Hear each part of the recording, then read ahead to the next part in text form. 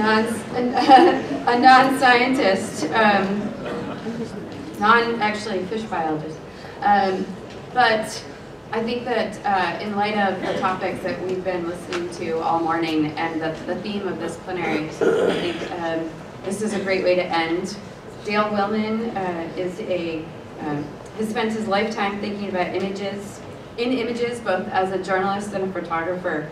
Uh, and he is an award-winning news anchor, editor, reporter, and trainer with decades, de decades of experience working around the world. With more than 15 years in Washington, D.C., he, he worked for NPR, CBS, and CNN. During the first Gulf War, he reported from London for NPR, providing coverage uh, for the IRA bombing campaign, and he anchored the only new NPR newscast ever from overseas. He's currently the program manager for the Resilience Science Journalism Fellowship Program at the Craig Newmark Graduate School of Journalism at CUNY in New York City, and continues to anchor NPR newscasts occasionally. And he's here to speak to us about communication, uh, particularly in light of uh, the climate science that we know. And he has a profound title. I mm-hmm. feel that I will go down in history for this title as president of New York AFS, but I love it. Science the shit out of it. Communicating like your life depends on it. Good morning. Good morning. It's uh, 90 degrees in the room, and I'm the last speaker of the morning. What could go wrong? Uh, thanks for being here. I want to uh, say that I really love hearing my friend Tony talk about that. We talk about nature deficit disorder. Uh, somebody mentioned that this morning, and the fact that so many kids are not connected to nature.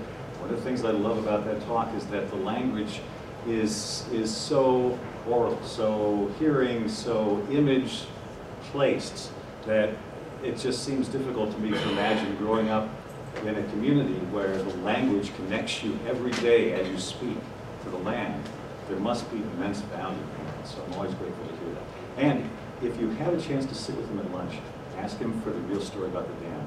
It's an amazing story. So thank you for having me. Uh, I'm excited to be here. I'm going to read some notes over the first couple of slides, and I promise I'll get away from that, but I need to uh, uh, talk about some very specific things. So, but I want to talk a little bit about communications, but I want to tell a personal story to get us there. Uh, so anytime I can be in the Adirondacks, I'm excited to be here. We've lived up in this area for 20 years. We're part owner of a place called White Pine Campus. It's a photo taken last week at White Pine, which is about 30 minutes west of here. Uh, it sits on Osgood Pond, which is one of just 3,000 lakes and streams in the Adirondacks, lakes and ponds. Uh, since the late 1800s, visitors came to the Adirondacks for the mountain air and the mountain lakes, but 30 years ago those lakes were under a cloud, literally. And the culprit was acid deposition. This is a personal story for me because I grew up where the acid problem basically began, but the story is one of hope and redemption as well, at least to some extent, we'll talk about that. But before I tell that story, we've got to understand a little bit about acid deposition or acid rain if you don't. So uh, acid rain is caused by the emission of sulfur dioxide and nitrogen oxides from the combustion of fossil fuels. This comes from many different places, including natural sources, as climate deniers will tell you. Volcanoes do emit sulfurs, sulfur dioxides and uh, uh nitric oxides. But the primary culprit is that of power plants. Uh, and many of these resided in the Midwest. I grew up in Ohio. Where's the guy from Wooster? Wooster College? I graduated from Smithville High School. That's seven miles. I love this sort of small world connection stuff. Anyway, uh, Ohio, Indiana, Illinois were the hotbeds for the combustion of fossil fuels. Um, oops, I my, uh, no?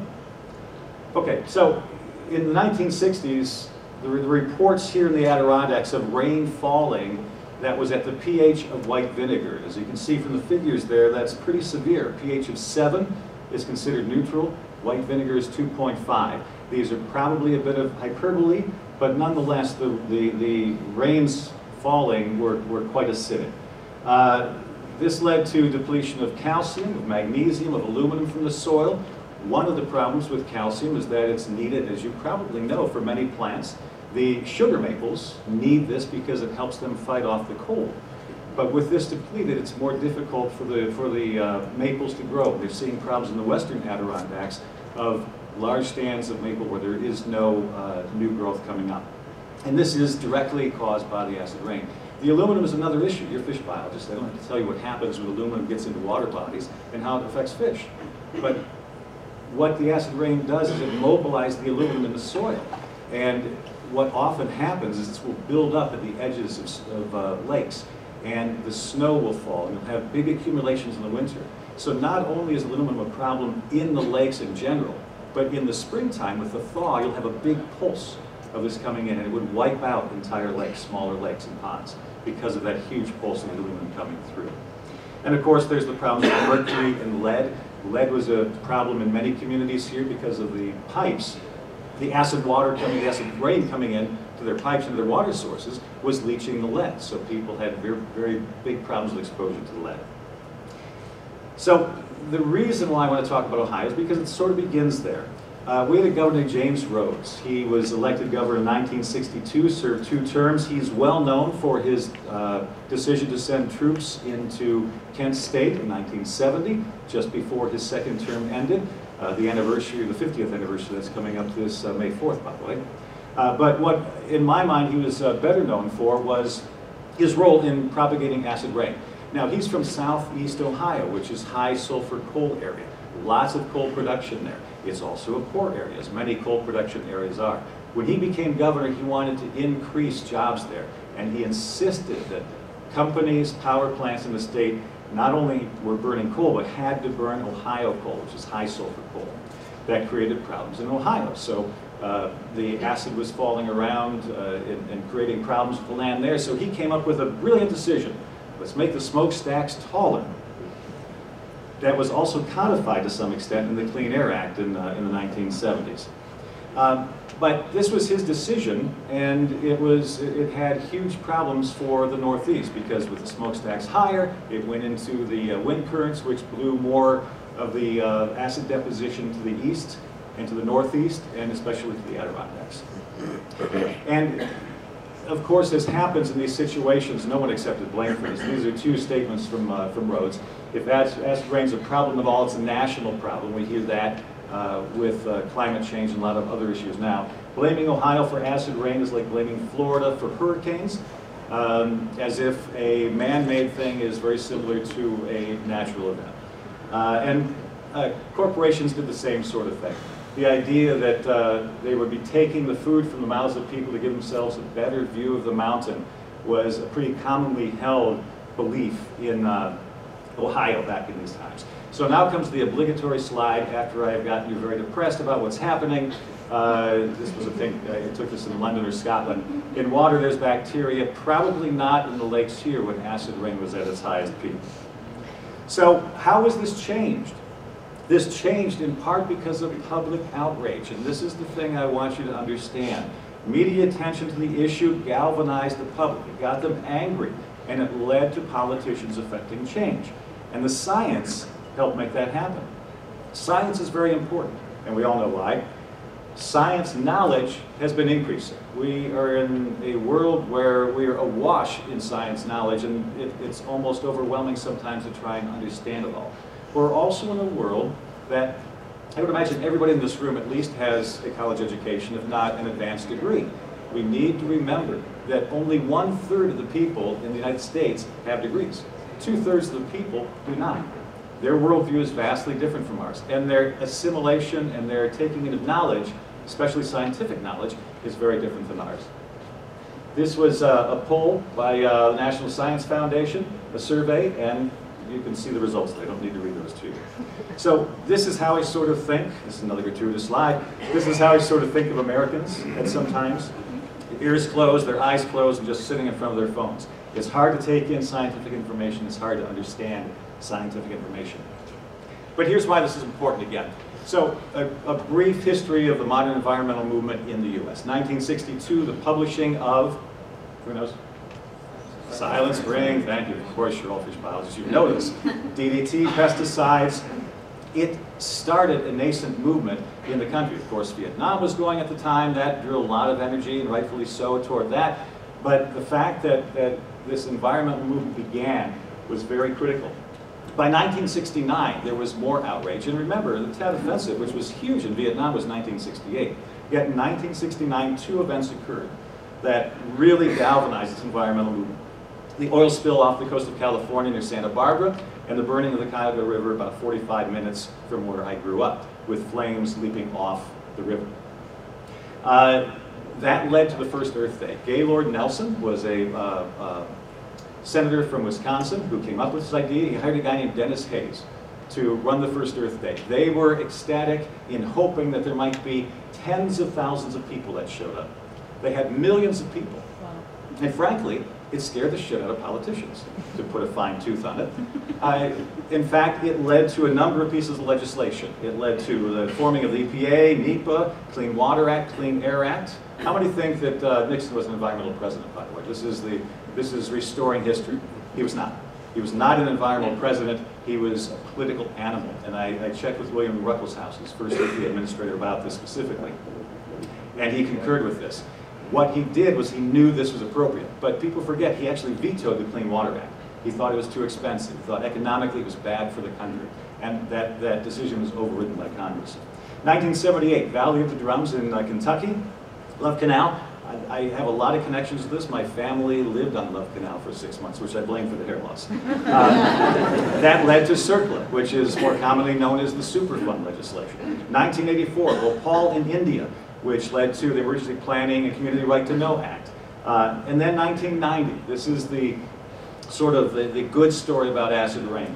Uh, the amendments to the Clean Air Act led to uh, scrubbers, other things that take out particulates in the uh, uh, uh, emissions from the power plants, and that drastically reduced the sulfuric acid that was coming out, the sulfuric oxides that were coming out and creating this acid rain. Now the problem is, of course, that there are two components, the nitrous oxides and those also create problems. Those were not reduced. So what's happened in the Adirondacks is the acid has dropped uh, precipitously and it's plateaued because the nitrogen is still out there and it's still creating problems. So it's still an issue here. So in the meantime, all this is going on, and this is what we're going to get to about the responsibility of scientists to help inform the debate in the country. Journalists ignore, generally, the environment unless something major happens. So if there's not a crisis like Love Canal, like Valley of the Drums, oil spills off, uh, off of the coast of, of California, the environment is ignored. Content analysis shows very clearly it, the, the, base level is about 2% of all coverage. Andrew Tyndall and Tyndall Report, if you'd like to see more of this, you should look at uh, his analyses of this. These graphs, the next couple slides are horrible. What I want you to look at is this in the bottom. So we look at the bottom here, you can see some events. 1989, a big spike. 1989, Exxon Valdez and Alar, which was a chemical that was sprayed on apples in Washington state to make them all ripen at the same time. It also was probably a carcinogen. Uh, 2001, I believe it's Kyoto Protocol. 2010, uh, Deepwater Horizon, BP oil spill. You see the spike in coverage, but this is crisis coverage. It's not coverage that gives people information they need to know to understand the world around them. Same thing here. This again is horrible. I'm going to even look at it. Uh, but the top stories in the 2000s, Hurricane Katrina, crude oil, wildfires, influenza, winter weather. Same thing for 2018, which are the most recent numbers I could find. Wildfires, winter weather, hurricane, hurricane influenza. Again, these are all crises. This is what drives media coverage generally, are crises. Um, so this is what's important in order to make change, in order to affect change on important issues, what has always been needed is consistent and sustained news coverage. I make a distinction between what I call news and journalism. News is a signalizing event. This just happened. Bus crash, wildfire, hurricanes bearing down on us, or, you know, maybe like a big winter storm that's going to keep a lot of people stuck in Lake Placid. I'm just saying. But these are, these are news events that are happening right then. But journalism is the information that layers the context onto it, that helps people greater understand the issues around them. It's why I worked for so long at NPR, because I think of all the uh, news organizations out there, they're among the best doing this. But it's important to understand that we need that level of coverage. But journalists don't understand these issues. There's a lot, there are a lot of environmental journalists, there are a lot more who are not. So you also need to understand something called agenda setting. And this is that the media don't tell the public what they think about. But the stories that they select, uh, I'm sorry, don't, need, don't tell you what to think, but the stories they select tell you what to think about. It's top of mind, it's what everybody's talking about, and that's why these discussions occur. This is why we talk so much about crisis covers. This is why we talk so much about Kim Kardashian.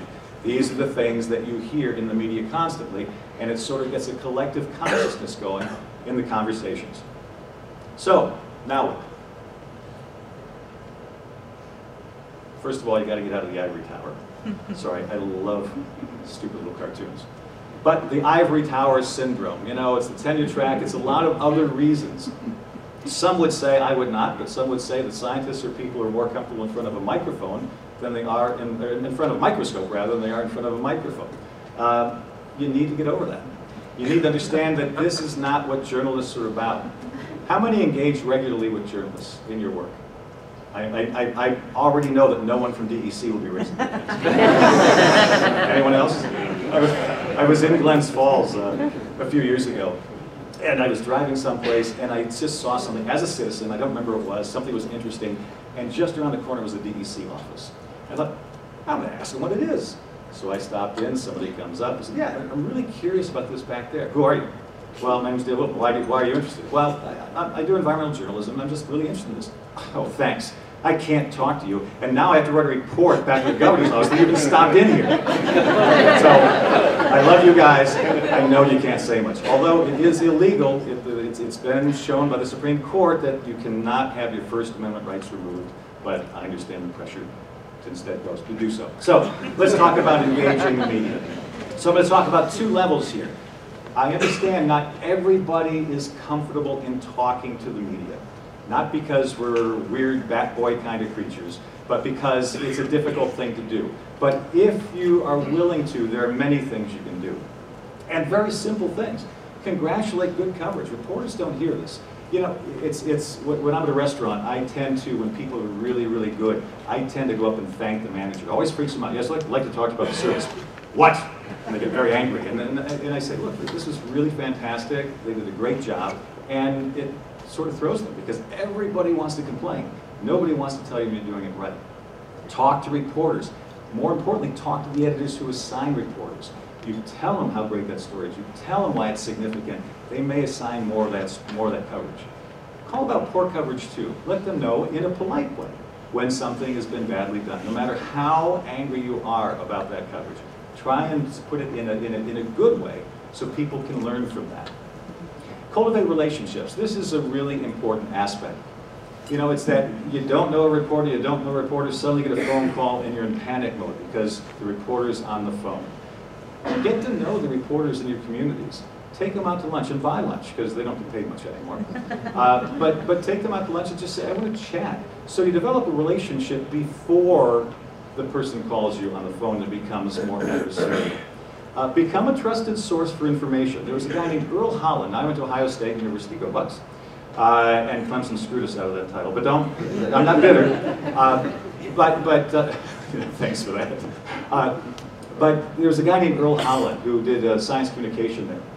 Earle was known around the country. He was the father of that sort of practice at universities because you would call and say, I'm interested in X. And he'd say, well, we got this guy over here. But I think what you're looking for, the guy who's really, really covering that deeply is not at Clemson, but he's over at Washington State or, or wherever. And so Earle became a really trusted source. The reporters knew that he would be straight with them. And that's really important. You want to have a relationship with a journalist where they understand you and they know that you're going to be fair with them. So when you do call and say, you know, that was a problem and here's why, they're going to listen. Uh, and encourage your colleagues to do the same thing. Put stories in terms of people and not data. And this is tough, and I'm going to show you a, a slide in a few minutes that's a perfect example of this. But people don't relate to things. You talk to them about fish, maybe, you talk to them about uh, depletion of, a, of, a, of an ecosystem around a stream, their eyes are going to glaze over them. They're going to sort of roll in the back of their heads. But I used to work with a trainer who had this saying, particularly about audio, that, that God gave us eyelids but not earlids, which gave a particular strength for audio to get into your head and, and, and into your gut. So when you tell a story about people, it grabs people viscerally. I know that. My grandmother had to deal with that. Then you can start introducing the science. So get out of your heads. No TLAs. That's what we call them in Washington. Three-letter acronyms. EPA, you know, CBS, CNN. Three-letter acronyms, four-letter acronyms. Get out of the jargon. Remember who your audience is. People this morning had a lot of jargon in their talk, and that's great, because that's the audience. The general public reporters, not so much. Identify local connections to the issue when you can, which of course you are because you're living out in the community. Taking part in editorial meetings is a really, really important thing if you're comfortable with doing this. A lot of newspapers in particular will have editorial meetings, like a monthly thing where they might invite someone in from the community. Well, ask them if you can come in and talk about your knowledge about a particular issue in that community. It's non-threatening, tell them it's off the record, uh, that you just want to help educate. And often they'll just do it over lunch and they'll have a lot of the editors in, some of the reporters, and it's a great way to have a conversation. But some people just still have a visceral response to journalists. My last gratuitous, well, not my last gratuitous slide, sorry. Um, so there are other things you can do. You can talk with neighbors. Talk with your neighbors about these things. And I'm sure most of you do this already. You're part of a community. You can help to educate your community. Start a conversation or discussion group. About 15 years ago, I was working on a project that failed for some other reasons I won't talk about. But the idea was, back then, people only talked about climate change in terms of polar bears. And the reality was, even then, there were changes that were visible within the continental US that we could talk about. So we were trying to do a series of stories about those. And I happened to bump into a guy on an airplane from the National Council of Churches in North Carolina. Now, when you think about discussions, when you think about conversations, where do they happen? They happen in barbershops, beauty parlors, and they happen in churches. So what we had planned was we were going to take these stories, package them, with some written materials to go with it. And we were going to send a copy to every member of the National Council of Churches in North Carolina. The idea being that they would do one of two things with these. They would either take them, the ministers would use them as fodder for, for sermons, but what we hoped is they would, they would create a discussion group around these. It's non-threatening, it's your peers, it's your tribes. We won't even get into tribalism, that's a whole other thing in this country now. But it's a way of persuasion and of, of informing in a non-threatening setting where people are comfortable with that kind of a conversation. And be creative. In Toronto, they had something they called Breakfast with Eggheads. And I love this idea. It was with the, uh, uh, the government officials there once a month. I don't know if they're still doing it, but once a month, they would pick a topic. They would go into the legislature. They would bring them breakfast. You get that food is important here. They would bring them breakfast, and they would just have a conversation about that topic. So the lawmakers who are making these decisions, remember, lawmakers don't grow balls and do what's right. They wait till the public outcry. We think Clean Water Act, Clean Air Act, Earth Day. That's what's going to drive them. But if they have more knowledge that they can use in their legislating, that's also of immense value. You can do that in that sort of process. Science on tap. I can see my next slide that has this. We'll talk about this. But science on tap, I don't know, any of you have this in your community? This is a relatively new thing. I think it's a great idea. Sustainable Saratoga does it down in uh, where I live in Saratoga Springs. And what they do is they will have a gathering at a bar, and they will have a speaker. And it's social and it's hanging out, but they'll have people talk about important issues.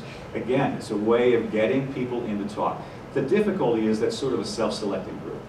You've got the environmental groups sending the stuff out. You're going to get people who are already interested in these issues. And you want to expand that, which is why I love the church idea.